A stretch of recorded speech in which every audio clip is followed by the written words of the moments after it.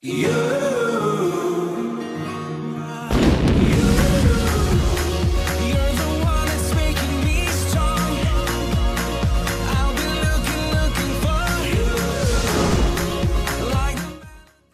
Juan Torri Gustio y bienvenidos a todos y, y a todas. Tengo aquí el programa de fiestas que, bueno, poco a poco se va acabando, vamos agotando los días, todavía quedan dos eh, días intensos, importantes, con muchos actos, el día de disfraces y sobre todo mirando al cielo, a ver si va a acompañar el tiempo o no, que parece, parece que puede llegar a respetar este próximo fin de semana, aunque con temperaturas algo más bajas de las que tuvimos el fin de semana pasado. Pero bueno, aún así hay muchos actos donde tomar parte y muchas ganas también, claro, de participar en el segundo fin de semana de repeticiones de, fiestas de San Fausto.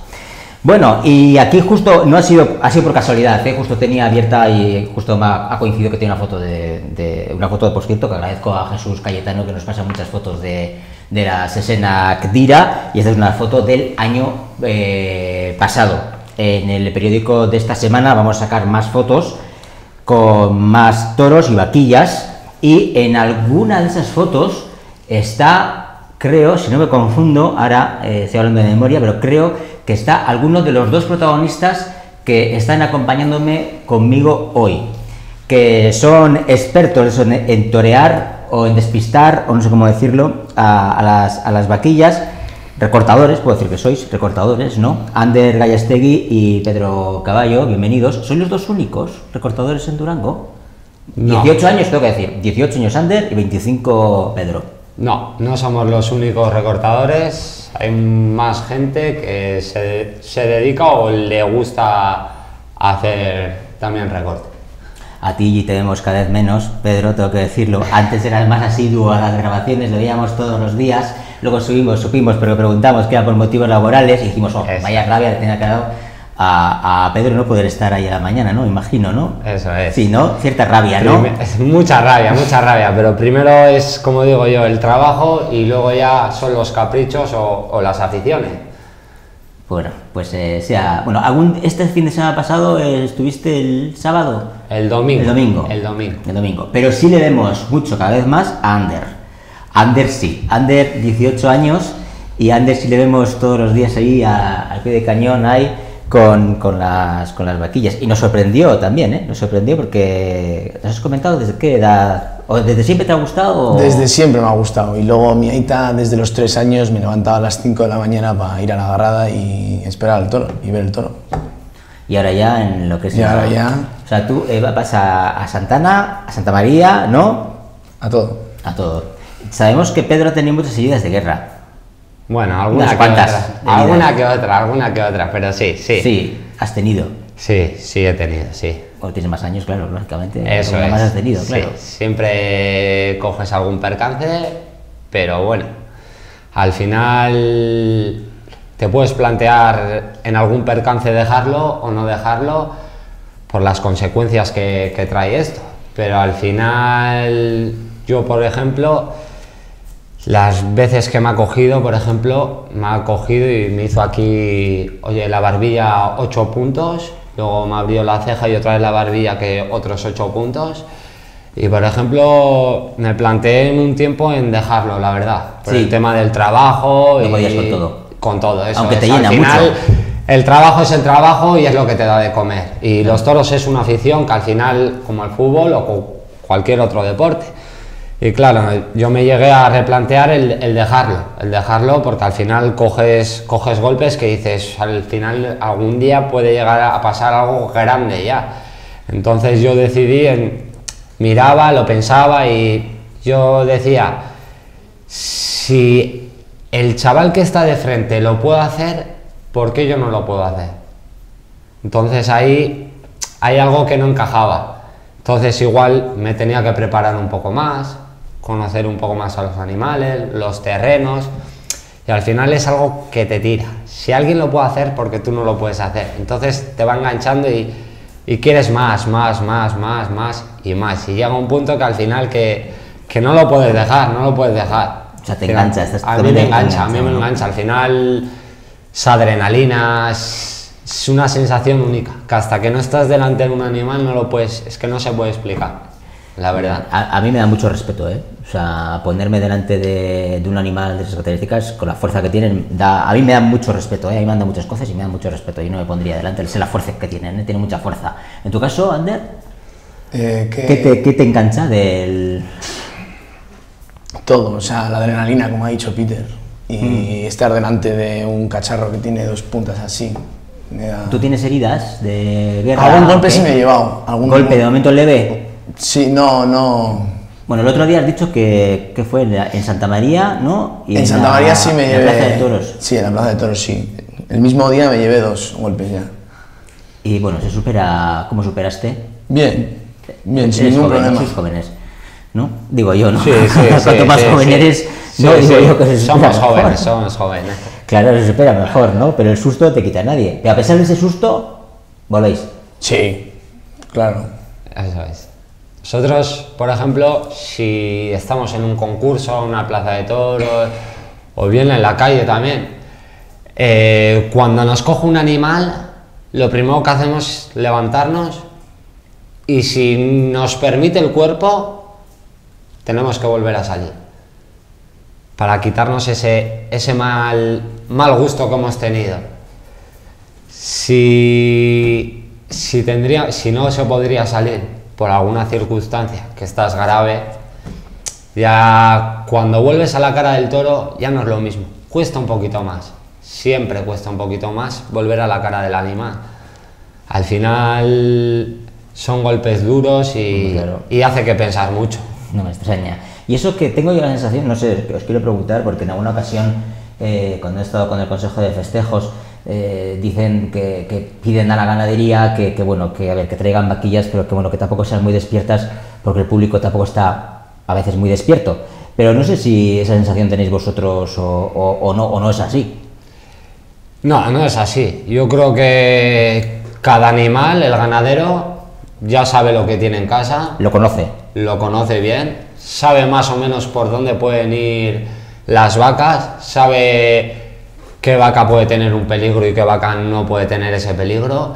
Y yo creo que más o menos se va amoldando a los pueblos, a la gente, al tipo de gente que puede llegar a ver. ¿Y aquí qué tipo de vaca o toro puede ser? Pues yo creo que aquí en Durango, para mí, para mi gusto, traen igual un poco el ganado un poco flojo. Porque, eh, porque aquí en Durango, al haber tanta gente, la- los animales desgastan mucho, desgastan mucho. Y entonces muchos de ellos al, al estar de fiesta o, o que no lo conocen, ¿no? no llegan a respetarlo como se merece ese animal. ¿A ti ¿Te parece lo mismo, Ander? Sí, al final sí. O sea, a, a vosotros os gustaría un poco más vivos, ¿no? Un poquito más vivo igual. Eso es un poquito, ¿eh? que por lo menos se le respete un poco más al animal. Sí. Porque, a ver, aquí un animal hay que darse cuenta que tenemos eh, dos horas de, de socamoturra. Mm. Son cinco animales. Mm. Chale unos 25 minutos cada animal. 25 minutos de, cana- de cada animal. Si un animal no está lo suficientemente preparado o de fuerza, la gente puede llegar a abusar un poco de él. Sí. Sí, sí, yo creo que sí. Y entonces yo creo que el animal necesita su respeto también.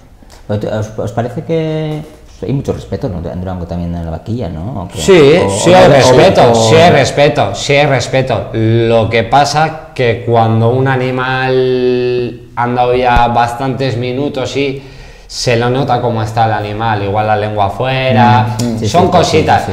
Entonces, en vez de darle su tiempo, esperar un poco, pues como el otro día pasó, ¿no? Se cogió a alguien y, y se quedó la vaca y les dije yo, esperar cinco minutos que coja aire la vaca.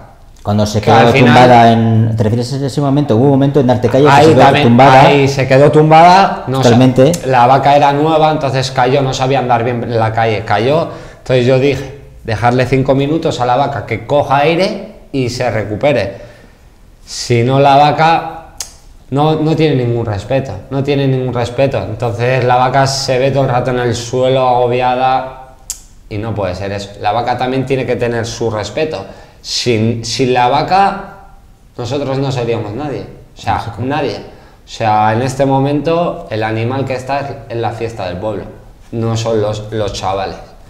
Oye, ¿en casa qué os dicen? Pero claro, lógicamente tu padre ya sé que creo que te animará. No sé, en, en tu caso... De todo ¿qué? me dicen, de todo. En Si casa estoy, sí. Que estoy loco, que... Pues de todo, ¿no? Al final. Pero mi madre es la que peor lo pasa, pero por lo demás, los demás lo pasan bien, viéndome. Sí. Bueno, lo único tu madre, ¿no? Ven los vídeos y ven el arte, porque eso es arte, ¿eh? Es el arte que, que tenéis, ¿eh? De, de- de torear y tal, ¿no? Pero claro, veis, veis de todo también. Claro, veis que se hace de todo. Bueno, a- algunos personajes, quiero decir que hay personajes también. Hay algunos que, que, bueno, que antes he dicho también que hubo alguien que saltó, que dio una voltereta y demás y tal. Hay de todo. ¿Eso qué os parece? ¿Que es divertimento? ¿Que la gente se divierte Pues a ver, eh, el que se pone delante de un animal yo creo que debería de saber o conocer un poquito lo que te puede llegar a hacer un animal.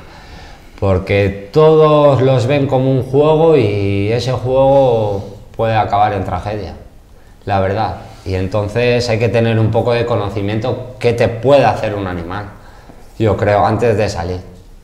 Lo mismo que Peter, al final. Te puede hacer cualquier cosa un bicho de estos. Si no, si no sabes cómo, cómo es ese animal y... Eso es, ya, ya no te estoy hablando de lo que te pueda llegar a hacer una vaca o un toro, simplemente un becer. Simplemente un, un becer. Un mal golpe, una mala caída, te puede dejar parapléjico. O sea, te puede hacer mucho daño sin que tú pienses que te lo puede hacer. Mm, Nosotros a veces cuando estamos eh, grabando en Arcos Sentanas nos asustamos, ¿eh? porque hay veces que los golpes que reciben y el otro día un chico se quedó tendido en el suelo, inmovilizado, y de verdad es que asusta un poco, pero bueno, no- resultó que menos mal que no, que no va a más y que, que son heridas leves, más algún traslado, una rotura de algunas paletas que ha tenido algún chico y algunos, algunas dolencias por ahí. No ha habido, no ha habido más y, y crucemos los dedos para, para que siga para que siga así, ¿no? Para que siga al final. Eso es, cuanto menos percances haya, mejor yo creo. Oye, hay mucha afición, ¿no? Porque nosotros eh, vemos, mm, claro, más que centenares, yo creo que son miles de personas las que algunos días están en, en la Plaza de Santana, pero también en, Y Santa María está petada. Santa María, pero también en la Plaza de Toros de San Fausto. El otro día nos escribió alguien que había más de mil personas, creo que fue el sábado a la tarde, en donde recibiste el golpe tú, ¿no? O sea que hay mucha afición en Durango. Sí, sí, yo creo que hay muchísima afición en Durango. Eh, no sé si han sido cuatro ya años atrás que llevan trayendo la plaza de toros. Sí, por ahí. Y mira, estos últimos años hemos tenido suerte y nos ha respetado el tiempo. Y desde el primer año, este último que trajeron la plaza de toros, hubo afluencia en la plaza de toros, pero no hubo tanta. Tuvimos también un percance ahí en la plaza y eso, pero no hubo tanta. Y yo creo que de ahí, cada vez, cada año que pasa, va mucha más gente. Va, mucha- más. muchísima gente. Y sobre todo chavales. Eso Gente es. joven, ¿no? Y Muy sobre joven. todo gente joven.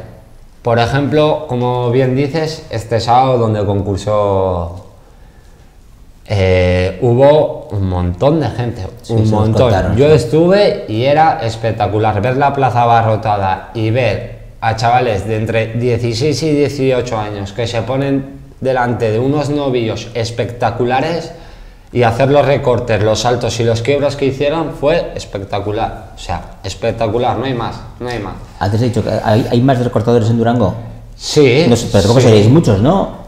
No, que No sé. somos, no somos muchos, pero a ver, recortadores habremos cinco o seis, pero luego entre todos los chavales que nos juntamos somos un montón. O sea, no quiere decir que, que un recortador, o sea, que un chaval por no ser recortador no le gusten los toros, sino hay mucha gente, muchísima gente que se mueve por muchísimos pueblos solo a ver, solo a ver, y no participan, ¿eh? No participan. Y yo, como bien digo, siempre es más aficionado el que está fuera que el que está dentro. Le voy a preguntar a, Ander, tú cuando tenías, bueno, a- me imagino que hasta los 16 años tenías que ir a la, a A la grada, a la grada. ¿A, a qué hora te levantabas? Porque yo ca- cada día veo que aquí está yendo cada vez más, más temprano. Y no Cuando era pequeño mi aita me levantaba a las 5 de la mañana. A las 5. ¿Y a qué hora estabas allí? A las Es que cinco, cinco y media, seis. Estaba ahí en la grada. es que es impresionante la hora que se llena aquello.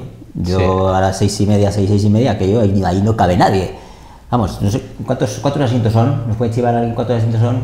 ¿Cuántos asientos son en la grada de Santa María? Oye, Santana, perdón, 300 asientos.